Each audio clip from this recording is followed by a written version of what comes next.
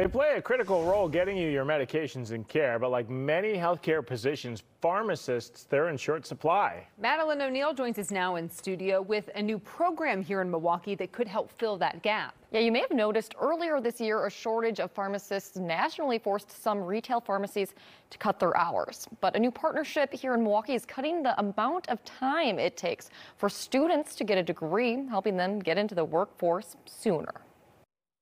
I knew that I wanted to be a pharmacist since I was 12. As a second year student in the Medical College of Wisconsin's Doctor of Pharmacy program, Diana Victory is well on her way.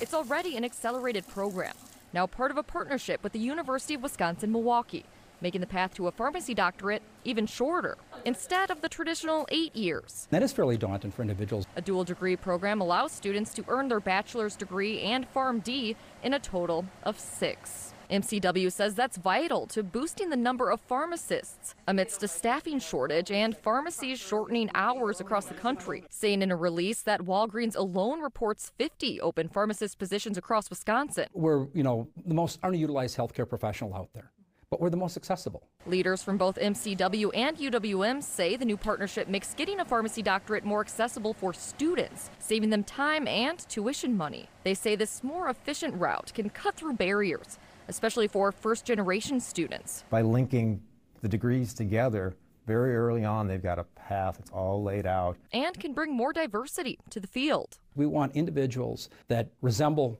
uh, the communities they're from, that speak the language that they speak, to go back to those communities and care for individuals. For her degree, Victory is too far down the road to be part of this program, but says the accelerated path would have made a difference for her and will for others. You can just jump right into it and start helping your patients.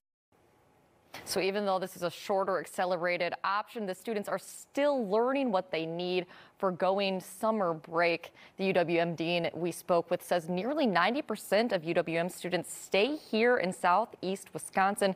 So they really are training our community as future pharmacists. And Steph. We like to keep people close, especially when they're talented. Maddie, thanks.